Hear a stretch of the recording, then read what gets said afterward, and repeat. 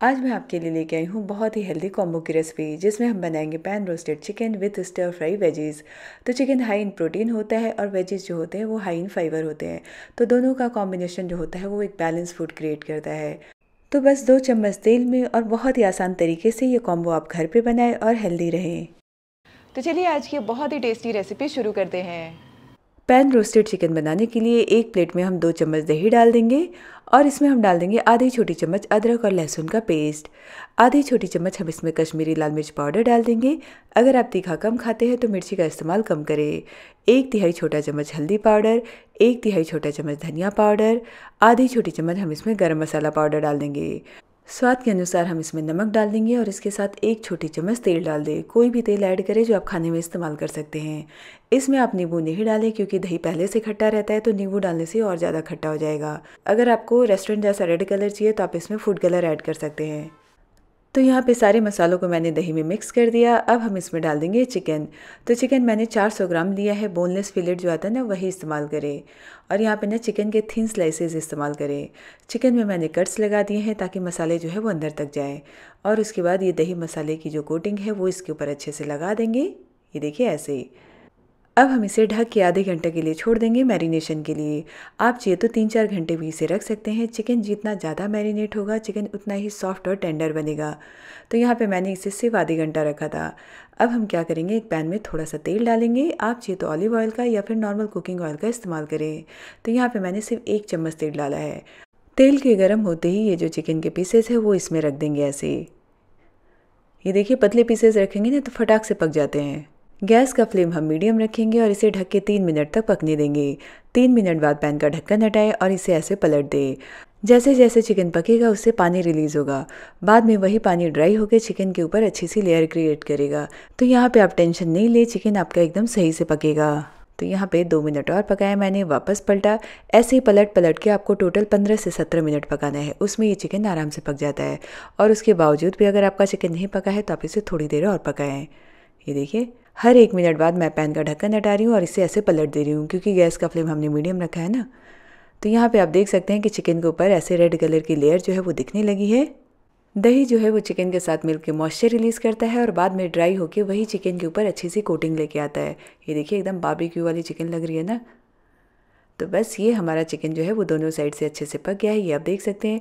कोई भी देख के नहीं बोल सकता कि आपने इसे पैन में बनाया है और टोटल पंद्रह से सत्रह मिनट ही लगते हैं इसे पकने में। तो गैस ऑफ़ करने के पहले आप चाहिए तो इसे चेक कर लें। अगर ये नहीं पका है तो आप इसे थोड़ी देर और पका सकते हैं। तो यहाँ पर चिकन एकदम आसानी से ये देखिए टूट रहा है है ना? तो बस इससे ज़्यादा और क्या चाहिए? तो आप चाहिए तो इसे ऐसे खाएँ या फिर इसके साथ स्टर फ्राई वेजीज सर्व कर सकते हैं। तो इसे ना मैं आधे मिनट के लिए धीमी आँच पे छोड़ देती हूँ, तब तक गैस के दूसरे साइड में स्टर फ्राई वेजीज बना लेती हूँ। तो उसके लिए एक पैन गरम किया है, उसमें थोड़ा सा तेल डाला मैंने। अब हम इसमें डालेंगे सारी सब्ज़ियाँ। तो यहाँ पे मैंने थोड़े से तोफू लिए हैं जुकनी लिया है ब्रोकली लिया है, गाजर बीन्स यहाँ पे मशरूम और शिमला मिर्च। तोफू की जगह आप पनीर का भी इस्तेमाल कर सकते हैं या फिर तोफू को स्किप कर सकते हैं। तो जैसे ही तेल गर्म हो जाएगा, हम इसमें डाल देंगे तोफू और इसे आधे मिनट के लिए भून लेंगे। गैस का फ्लेम हमें मीडियम रखना है। जैसे ही तोफू फ्राई हो जाएँगे, हम इसमें बाकी की सब्ज़ियाँ एक साथ डाल देंगे।